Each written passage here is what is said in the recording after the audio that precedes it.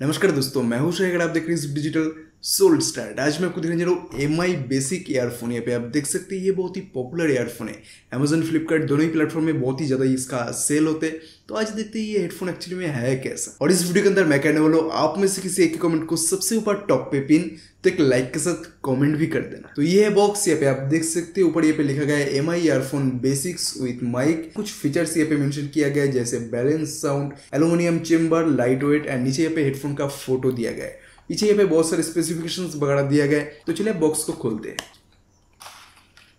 जिसके अंदर हेडफोन हमें इस पोजीशन में देखने को मिल जाता है। यानी यहाँ पे पैकेट के अंदर चारों सिलिका रबर एयर टिप्स दिया गया है। आपके एयर के साइज़ के लिए यहाँ पे अलग अलग वेरियंट यहाँ पे दिया गया है। तो आपको जो अच्छा लगे, यहाँ पे आप इंस्टॉल करके सेट करके पहन सकते हैं। इसका क्वालिटी बहुत ही अच्छी तरीका है, बहुत ही सॉफ्ट एंड बहुत ही कंफर्टेबल है। तो हेडफोन यहाँ पे आप देख सकते हैं, देखने में बहुत ही अच्छी तरीका लग रहा है। जो प्रीमियम हेडफोन होते हैं, कई हद तक उसकी तरह ही लग रहा है। और ये आपको तीनों कलर वेरियंट के अंदर देखने को मिल जाएगा red black and blue headphone की हाउसिंग यहाँ पे कंप्लीट मेटल बिल्ड है। एंड यहाँ पे कोई एमआई के ब्रांडिंग वगैरह हमें देखने को नहीं मिलता। ऑब्वियसली यहाँ पे आर एंड एल लिखा गया है, कौन से लेफ़्ट एंड कौन से राइट कान के लिए। यहाँ पे आपको मेंशन किया गया है बट यहाँ पे कोई एमआई का ब्रांडिंग हमें देखने को नहीं मिलता। एंड साइड में यहाँ पे bass composition and noise isolation का होल दिया गया। अब इसके साथ एक बहुत ही बड़ा डाउन साइड यहाँ पे निकल के आता है। आजकल की ईयरफोन में यहाँ पे मैग्नेट दिया जाता है, जैसे रियलमी के ईयरबड्स में मैग्नेट दिया जाता है बट यहाँ पे कोई मैग्नेट वगैरह हमें देखने को नहीं मिलता। एक बहुत ही अच्छे तरीके का ट्रेंड है आजकल, बहुत ही सारे स्मार्ट हेडफोन के अंदर। इस तरीके का मैग्नेट वगैरह दिया जा रहा है बट यहाँ पे कोई मैग्नेट वगैरह हमें देखने को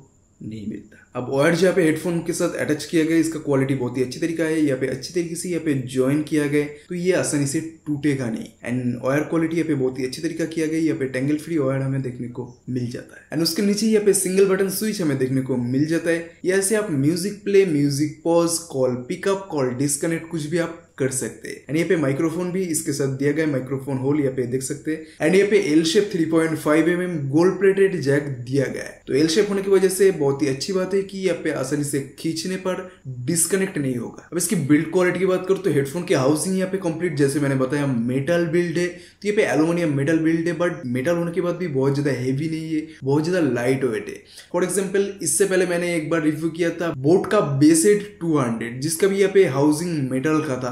बहुत ही अच्छी तरीके का मेटल वहाँ पे यूज़ किया था बट वो बहुत ज़्यादा हैवी है। और हैवी होने की वजह से यहाँ पे कान से बार बार गिर रहा था तो आसानी से फिट पकड़ा नहीं हो रहा था। तो यहाँ पे हेडफोन तो यहाँ पे मेटल का दिया गया है यहाँ पे बट बहुत ज़्यादा हैवी नहीं है लाइट वेट है। तो एक बहुत ही पॉजिटिव पॉइंट है, बहुत ही अच्छी बात है। अब वायर क्वालिटी की बात करूँ तो बहुत ही ज़्यादा सॉफ्ट एंड कंफर्टेबल है एंड ये टेंगल फ्री है। जो अभी का सभी हेडफोन में या एयरफोन में हमें इस तरीके का टेंगल फ्री वायर देखने को मिल जाता है। And three point five M jack के ऊपर यहाँ पे रबर बेस्ड पैड दिया गया है। तो ओवरऑल बिल्ड क्वालिटी बात करूँ तो बहुत ही अच्छी तरीका है। कई जगह पे यहाँ पे कॉम्प्रोमाइज नहीं किया गया है। एक अच्छी तरीके स्टैंडर्ड बिल्ड क्वालिटी यहाँ पे मेंटेन किया गया है। अब कंफर्टेबिलिटी की बात करूँ तो बहुत अच्छी तरीके तो ये नहीं है। आपको इनिशियल कोई प्रॉब्लम नहीं होगा but after twenty minute thirty minutes के बाद ये आपको ऑब्वियसली प्रॉब्लम होने लगेगा। आपको शॉर्ट टर्म के लिए यहाँ पे कोई प्रॉब्लम नहीं होगा बट लॉन्ग टर्म के लिए यहाँ पे बहुत ही अच्छी तरीके का प्रॉब्लम यहाँ पे आप फेस करने वाले तो ओवरऑल इस प्राइस के अंदर ठीक ठाक है बट ऑब्वियसली इससे बढ़िया हो सकता था। अब साउंड क्वालिटी की बात करूँ तो बेस बहुत बढ़िया है।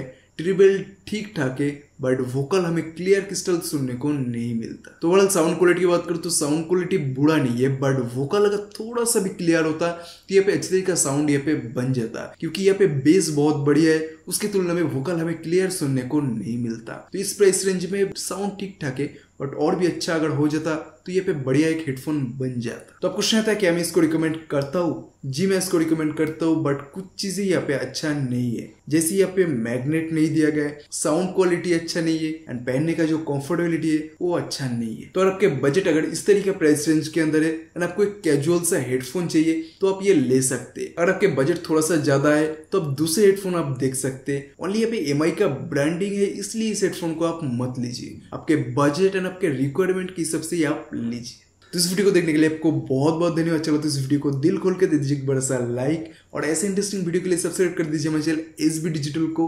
और मैं आपके भाई शायक मिलता आपसे नेक्स्ट और एक ज़बरदस्त वीडियो में। तब तक के लिए बाय बाय